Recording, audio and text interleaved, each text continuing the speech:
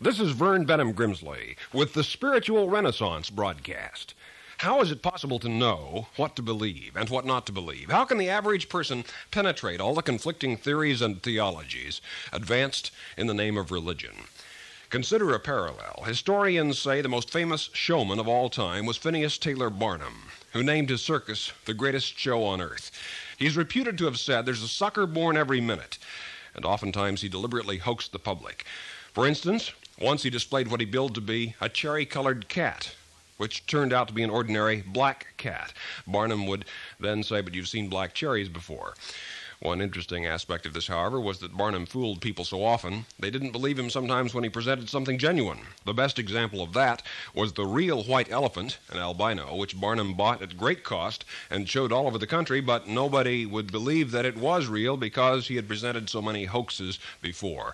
That is no doubt how multiplied millions of people feel about religion. They've been victims of hypocrisy, insincerity, and outright charlatanism so often in the name of religion that they're likely to turn their backs on the real thing when it appears. Specifically, people have seen the disputing religions about Jesus for so long that many have forgotten the religion of Jesus is something immensely different.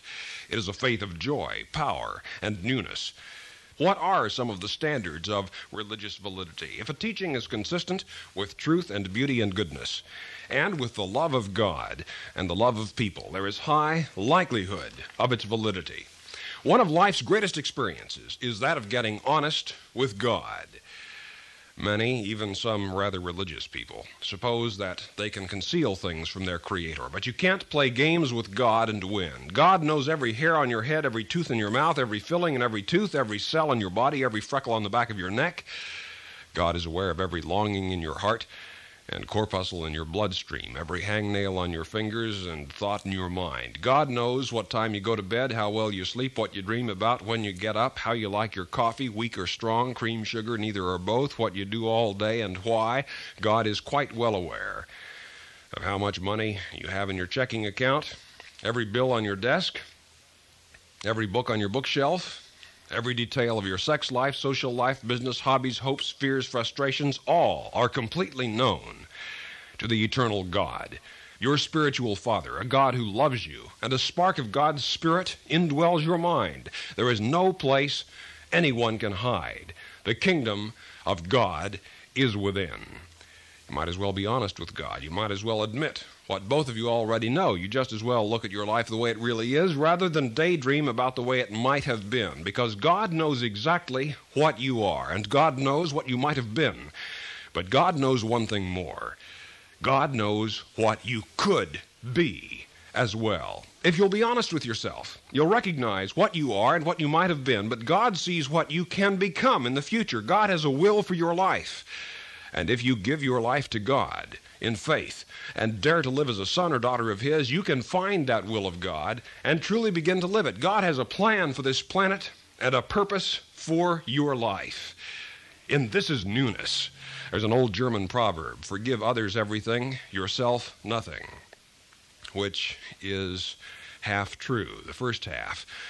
Forgive others, but learn to forgive yourself. If God can have mercy on you, and can care about you. Learn to have mercy on yourself and care about yourself. If you've ever watched a football or baseball game on television, you've seen what they call the instant replay, which is an immediate videotape playback of a crucial segment of the action on the field. Guilt, comparatively, is psychological replay. It is the endless and purposeless mental reviewing of previous sins, mistakes, and failures. Accepting God's love and God's forgiveness for you will not help you forget the memory of your wrongdoing, but it will assist you to stop replaying it continually in your thoughts.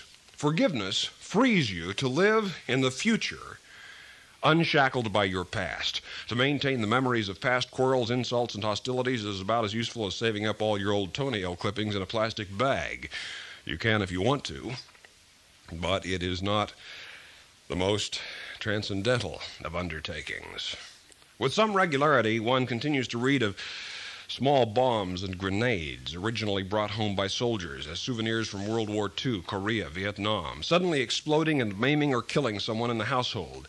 It is every iota as unenlightened to collect past hatreds and hostilities in the human heart as it is to keep live artillery on your coffee table or use a landmine as a doorstop. Pray for strength to forgive, strength to love, strength to be a brother or a sister, even to the unbrotherly. To be a spiritually transformed person, for the kingdom of God is within you. Recently, a man wrote to this radio broadcast saying that he profoundly craved to know God, but he felt that he couldn't. My answer is that the craving, the very craving to know God, is the certain sign that in fact you have found God and that God has found you. God is already near to you right now, this instant. I could illustrate this. Suppose you're strolling along the street downtown one day, feeling fine, completely content. When you chance to pass a restaurant, you smell the food and suddenly begin to feel hungry. This has happened to everybody, I would suppose. What was it that made you hungry? The smell of the food the fact that you were near the food. Feeling hungry under those circumstances is not because the food is far away, but because it is very near, so close you can smell it. It is much the same with God. You crave for God not because God is far away, but because God is near to you, because your spiritual appetite has been whetted by the quiet inner awareness of the presence of God, His Spirit near to you, within you. So, what it is really that you crave is not simply finding God, but knowing God better.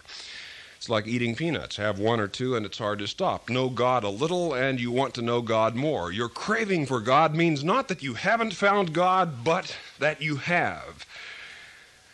And the next step is deepening that relationship, getting to know God, sharing your life with God in a vital sense of daily companionship, living in the joy, the worship, the praise, the love the exuberance of being the son or the daughter of God in faith you really are. Ralph Waldo Emerson once said the lesson of life is to believe what the years and the centuries say against the hours. This is the spiritual perspective. Jean Paul Sartre, the French existentialist philosopher, said, You will never find peace and happiness until you are ready to commit yourself to something worth dying for. And the highest purpose of all is the purpose of God, God's will for your life, which is not only worth dying for, but far more importantly, it's worth living for, and there is joy in that. Charles Kingsley wrote There are two freedoms the false, where man is free to do what he likes, and the true, where man is free to do as he ought. The spiritual things are the most vital experiences in human life. Dr. Charles Myers telling about a fire that had destroyed the home of a friend of his, said, After all, if life is made up totally of houses and furniture and little keepsakes, life is pretty cheap. These things will be lost to me whether I have a fire or not. Ultimately, I will be separated from all of these things by death. Though they are lost now, it is not the most tragic thing that could happen. The most tragic thing in life would be the loss of that which is eternal. I am a soul. That soul was made in the image of God and was made for God, for fellowship with God, for friendship with God. The most tragic thing that can happen is the soul be lost. Said Jesus, What shall it profit a man? if he gain the whole world and lose his own soul. And again he said, Man cannot live by bread alone, by material things, by possessions alone. Therefore, in the dictum of John Wesley, do all the good you can by all the means that you can, in all the ways you can, in all the places you can, at all the time you can, to all the people you can, as long as ever you can, and live your life in the love and the praise and the glory of God, because it isn't your position, but your disposition that will make your life happy and meaningful. Fill your life with love and with faith Everyone can have faith. If God had said, pay your way into heaven, the poor would be left out. If God had said, work your way into heaven, many of the weak, the blind, the deaf, lame, and sick would be left out. But God says to everyone, simply have faith, believe.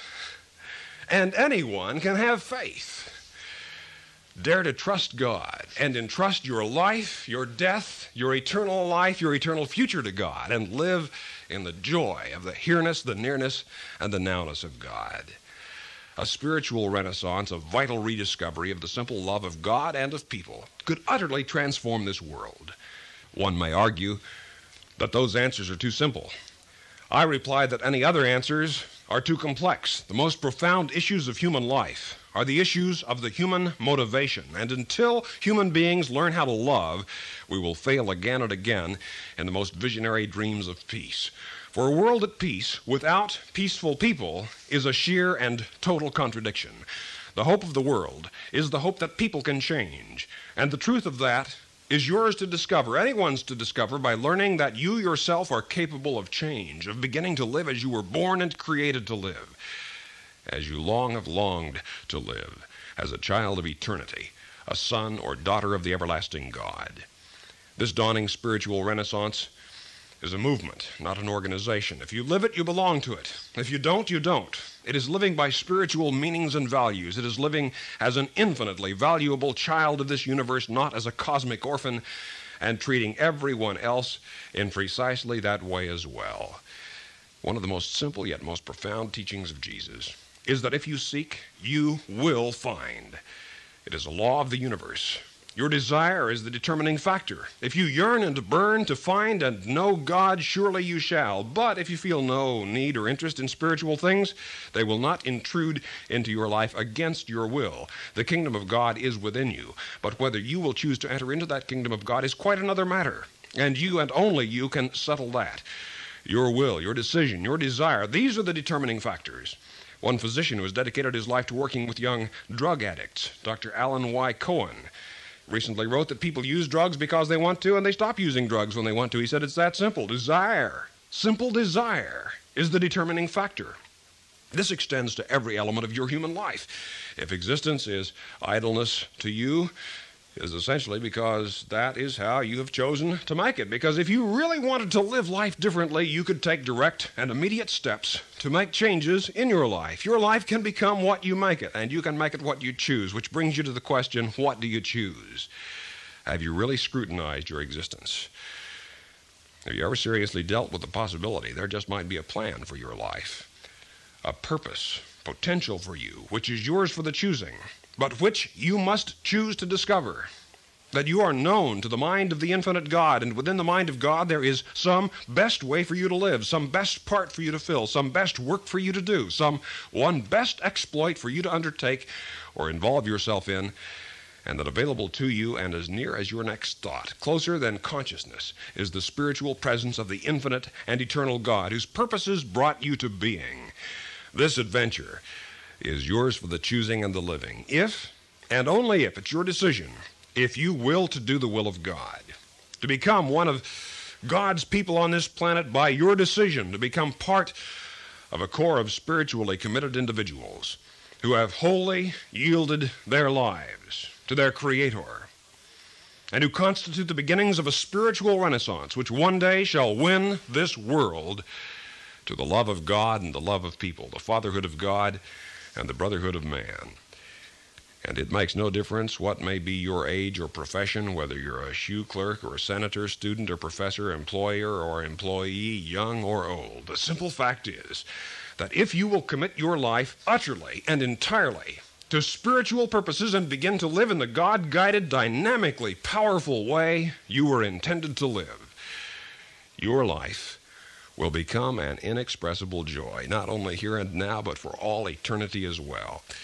But you need not wait until eternity to discover this. It is yours here and now if you will have it, if you will choose it, according to your faith, declared the Master.